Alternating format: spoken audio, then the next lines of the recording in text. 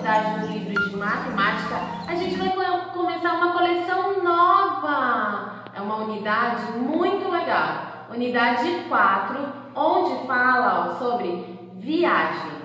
Tá escrito assim, ó. Vamos viajar?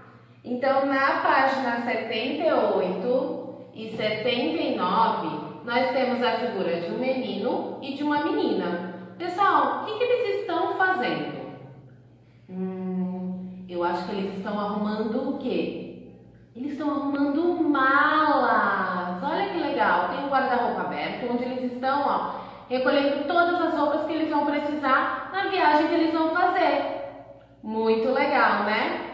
Aí lá no final do nosso livro, lá no final, lá na página 185, tem alguns encartes que vocês vão destacar e vão colorir aqui o início da nossa nova unidade, ok? Deixem bem bonito, peçam ajuda da mamãe e do papai, é muito divertido.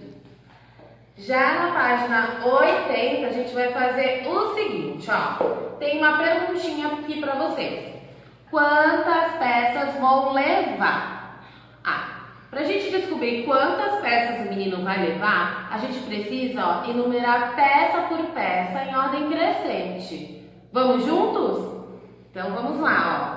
Aqui a gente vai colocar número 1, 2, 3, 4, 5, 6, 7, 8, 9, 10, 11, 12, 13, 14, 15. Então descobrimos a quantidade de roupas que o menino vai levar. Viram que legal? É só colocar os números lá embaixo de cada item, beleza?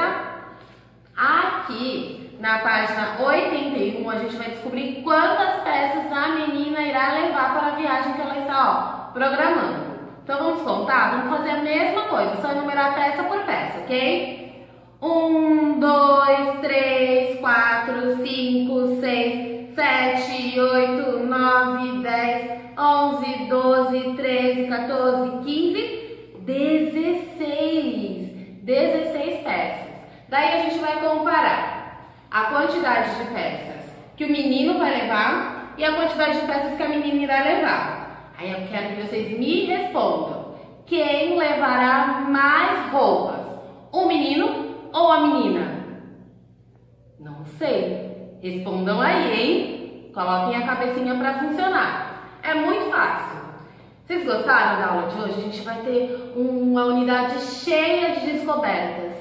Que tal vocês fazerem toda a atividade e mandar, ó, a tia Valéria ver tudinho? Vocês gostam de viajar? Eu adoro. Um beijo, meus amores. Façam tudinho, tá? Tchau, tchau!